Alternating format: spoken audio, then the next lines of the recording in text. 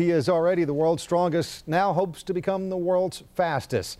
And there is no question he is one of the most extraordinary athletes to ever call Sacramento home.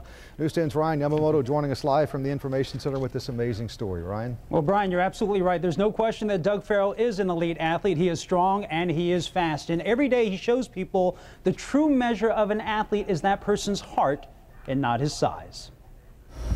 Focus, people. Focus. It's a little reminder for an elite athlete.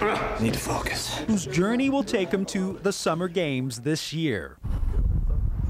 But Doug Farrell is not your average competitor. Where are you going? He is somewhat of a little guy. Let's get real. With a giant dream. Later. I want to be the fastest dwarf in the world. From there, all the way down to there. Fast, speed.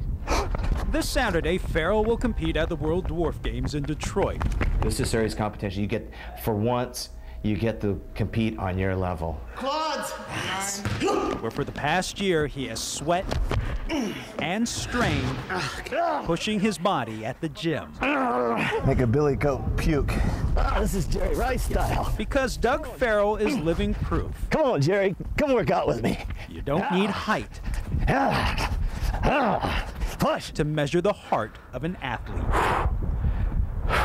I've been pushing myself to the bone out here. Yeah. So I'm working on my starts right now to getting out of the gate fast. But success is nothing new to Doug. In 2004, he became the world's strongest dwarf, bench pressing 368 pounds. He is also a bit of a daredevil, a stuntman and an actor who played an Ewok in Return of the Jedi. On top of that, an accomplished sports photographer who works the sidelines at the Raiders games and for the Sacramento Kings. And I see other people saying I can't do that. I, yeah, I shake my head. And then, then as far as my accomplishments, I, I like, my whole body tingles when I talk about it.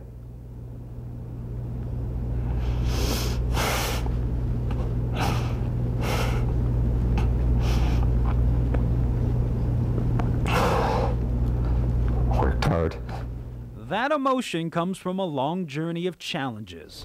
Fire your hands.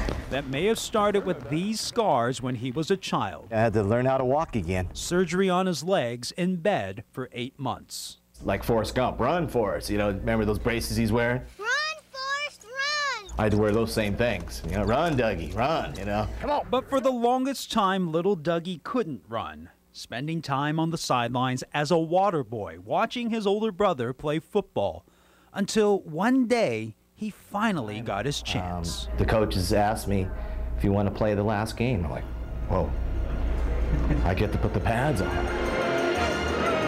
It was like a scene out of the movie Rudy. Only this time, Doug Farrell was the star. Here comes the player. They ran a sweep. And then, you know, here comes the, you know, the lineman with them. And I'm like, my brother's yelling at me, run. You know, we went after him. We got the tackle. And you hear your name, got the tackle. And I'm like, yes, I did it. You know, yes. and at the age of 50, he hopes to do it just one more time. Already the strongest, he wants to become the fastest. Focus, people. Constantly reminding himself what he needs to do. Focus, people. Focus. And in case you were wondering, the world record for the 100 meters at the Dwarf Games is 15.97 seconds. Farrell will not only compete in the sprint, but also the javelin and shot put. The Dwarf Games are this weekend in Detroit.